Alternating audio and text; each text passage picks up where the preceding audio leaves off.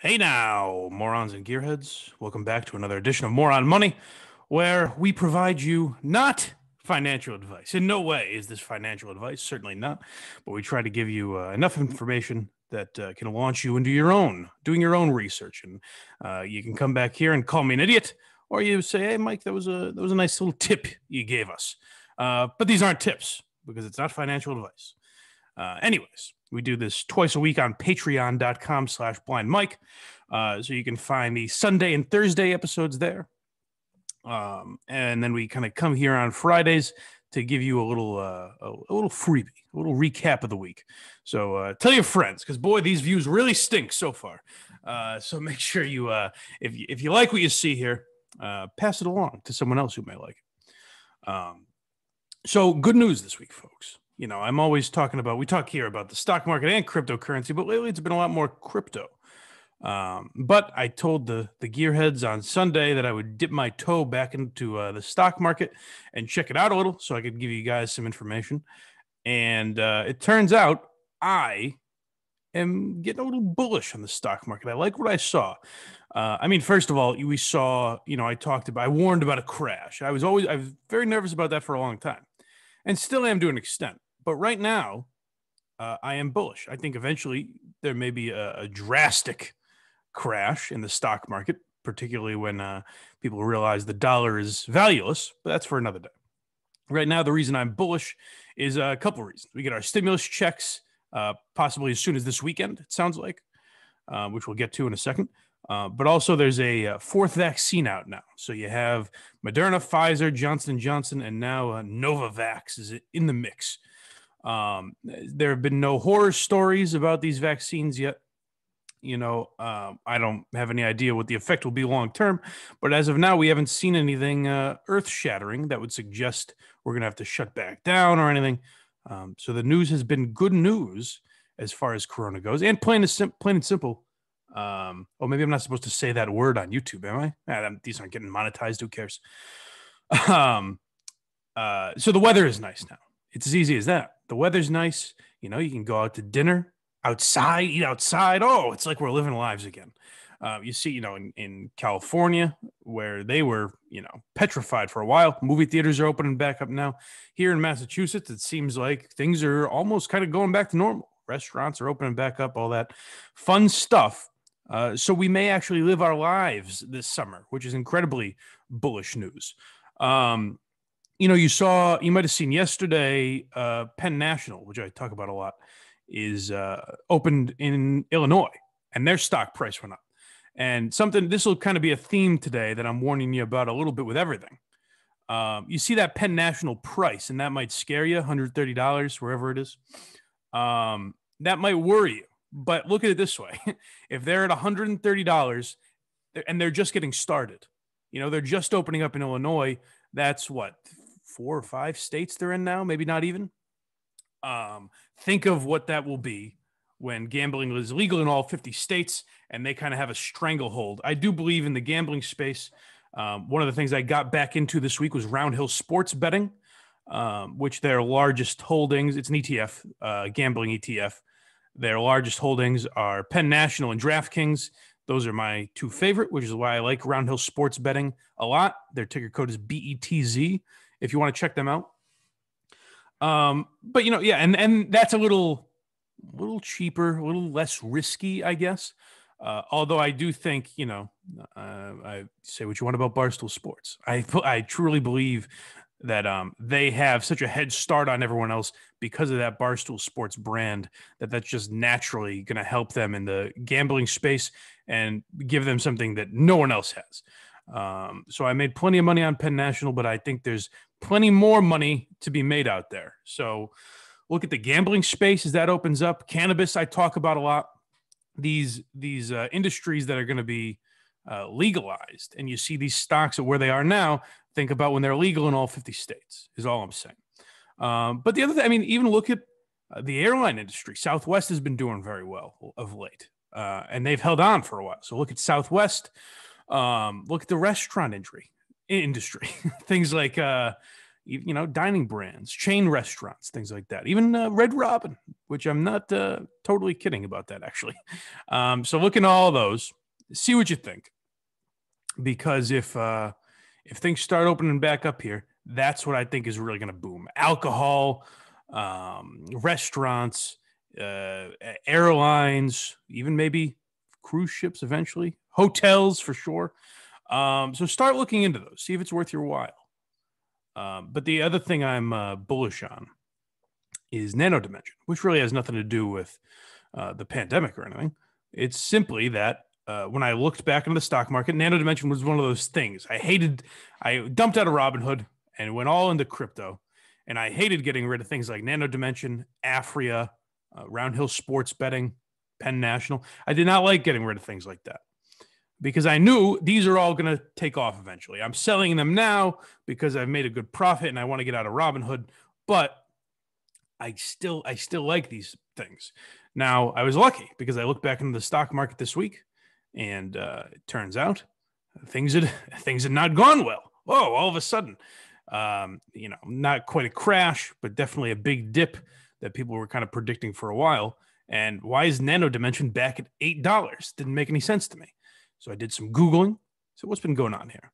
And uh, there was no bad news other than, you know, stuff I had already known that I was not really worried about. Uh, the good news to me, and, you know, value this however you want, but my girl, Cathie Woods of ARK Investment, um, they've been very bullish on Nano Dimension for a while. They're always buying every time. Every time you see Nano Dimension in the news, ARK Investment's buying more. Um, and Cathie Wood said, "Well, why is that? Because we look. One of the reasons is that we look at where uh, the defense is putting their money. Nano Dimension has uh, d- defense contracts right now, which is a very good sign. That's buku bucks. Um, and in general, uh, I always believe Nano Dimensions uh, 3D. They're a 3D printing company. Their Dragonfly technology it makes it so that um, essentially the process to making prototypes they take that from you know a process that took weeks and months and condense it down into a process that takes days or hours which would be huge for that space. So looking at nano dimension as well and ndm um, and like i said the things i have gotten back into in the stock market and uh, you just dip my toe in. So i'm not you know losing the house on any of these. Uh, but maybe you know take a little bit of that stimulus check if if that suits your fancy and like I said, looking at Nano Dimension, looking at Aphria, um, uh, Penn National, and DraftKings. Uh, Cinedigm is another one that I invest in. I don't know how confident I am in them. Uh, their streaming brand that uh, is trying to own essentially, it seems like as many titles as they can, uh, which right now it's mostly independent films and things like that. But the way the world is going, the way the digital world is going, uh, that is a good industry to be in. It's a small cap company um, that if they get their mitts on the right titles, could be very valuable to someone like Netflix or Hulu or whatever. Um, so look at all of those. Also look into you know the AI and 5G space. I've talked about uh, Garmin before. I've talked about InterDigital. I've talked about Veritone.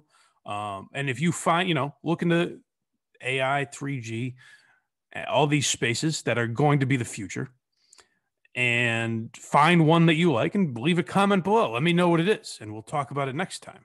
Um, and the other thing I would say to look into, in addition to everything I've talked about, would be digital wallets.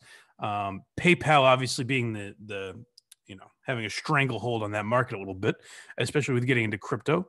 But with the death of cash, the advancement of crypto, digital wallets is another one um, to be looking into. So look in all of those spaces, and uh, if you you know have your your eye on something that I've missed, uh, let me know. Let me know what it is in the comments. Or if you think, hey, one of those stocks that you talked about is uh, a load of baloney, Mike. You know, it's yesterday's tomatoes. Then let me know that as well. Put that in the comments below, and uh, then we'll move on to crypto, which there isn't a ton. It's mostly just price news. Um, like you've seen Cardano dip here, which doesn't really worry me yet. No, no price news really bothers me. The only reason price news is interesting me today uh, with Bitcoin is yeah, Bitcoin went back up over 58,000 and dipped a little um, as it as it tends to do. A lot of people predicting a launch into a new all-time high. You hear numbers like uh, 60, 72,000 dollars thrown out there, we shall see as far as that goes. I do expect when people start uh, cashing their stimulus checks, you're going to see a lot of $1,400 transfers going into Bitcoin. Um, and I'm not saying that's what you should do because this is in no way financial advice. It's for entertainment and uh, information. But um, yeah, $1,400. You'll see a lot of those going into Bitcoin. Um, and, you know, I, I don't know that that's unwise. I think maybe uh, it would be smart to diversify a little unless you're becoming a Bitcoin maximalist like I was for a little bit. And then, like I said, I said, you know what? I'm going to diversify a little. I like being in the stock market. And what I'm going to do with that is essentially uh, every time, you know, every time you get a paycheck, every time you get paid, I do believe, and this is just my opinion, that you should put a little bit, a little bit, maybe in maybe into the stock market, and definitely a little bit into crypto. That's how I'm doing it. And you can do it the reverse. You can do it all stock market, all crypto, however you want. But um, and it might be only 50 bucks a week or you know 100 bucks a month or whatever um, whatever you're comfortable with it may be a lot more than that it may be a lot less but whatever you can that adds up so for example all i did this week was put $200 into the stock market and spread that over the uh, four or five stocks that i mentioned um, now, next month, maybe I do that again. Maybe I do a little more. Maybe I do a little less, even, whatever. But that adds up over time. And you see this money that would otherwise just be sitting there in a bank uh, start to accumulate and add value as long as you've, you know, looked into the right companies and done your research.